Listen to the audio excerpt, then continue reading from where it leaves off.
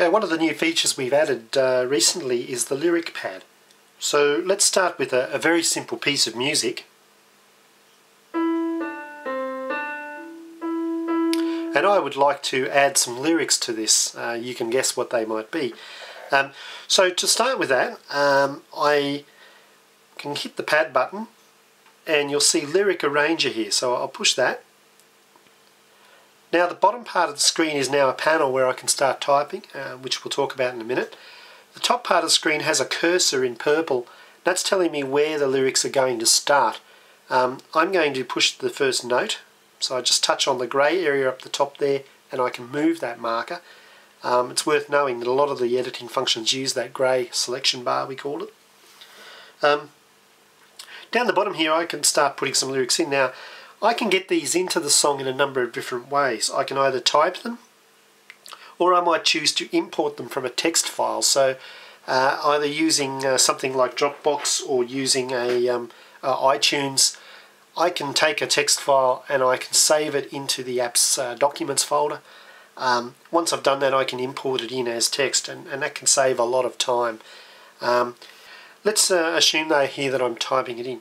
So I start by touching the insert button and now I get a, a text editor coming up. Um, so I'm going to just type in the words. And I might want to use different syllables, so I'm going to type in the different syllables as different words.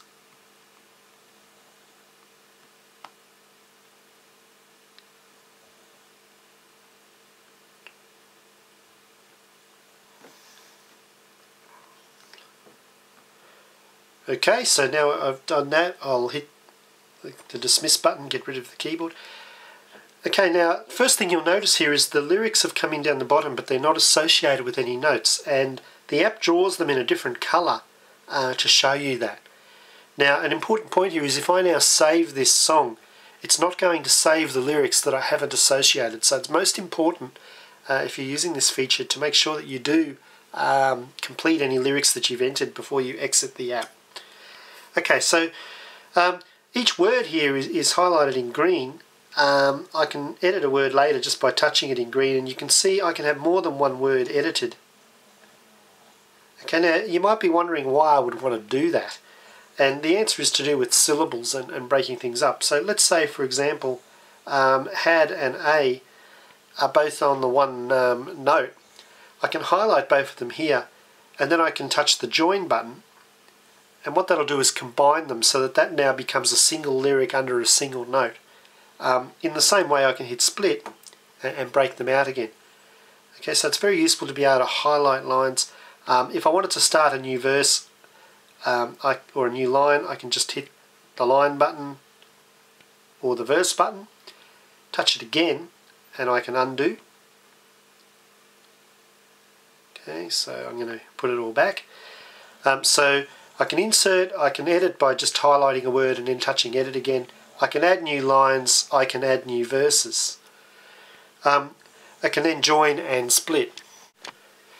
Um, I can also duplicate um, different words. Um, so I might have a, a, chorus, for example, that I might want to uh, make a duplicate of. Um, and then you get to link and unlink. Okay, so linking is very easy. I, I touch the first word, I line up the cursor with the first lyric and I touch link. And you'll see what it's done there is it's added the lyric under the note.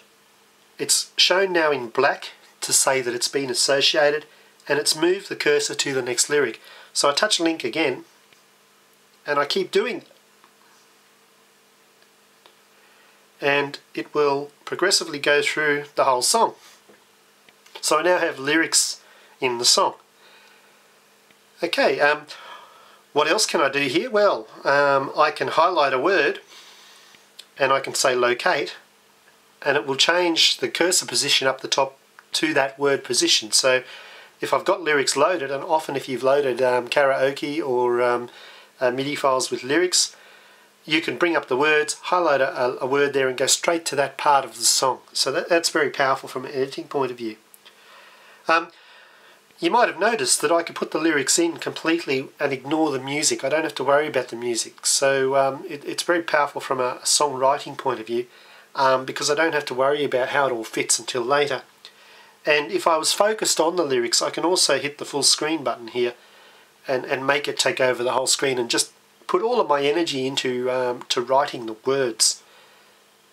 Um, it also has uh, pinch to zoom, so if I want I can zoom in, make the writing bigger. Um, that can be very very useful for those of us who uh, who wear glasses. Um, pinch out, I can make it any size I like. Okay, so um, just whatever suits. And I can do that while the song's playing as well. So um, when I hit the play button here, you'll see that the uh, the lyrics actually um, uh, highlight as the song is played. So um, makes it very very useful. Um, you know, from a performing point of view, I got the words in front of me. I can see where they are, where I'm up to in the song. Uh, karaoke obviously um, uh, makes it useful. But just for um, associating the lyrics in and making the lyric exercise um, as powerful a, an editing feature as the rest of the editing we have for notation. Uh, one of the aims of Symphonix Evolution is to bring all of the different aspects or elements of music production into a single app, and I think we've achieved that with the lyric screen.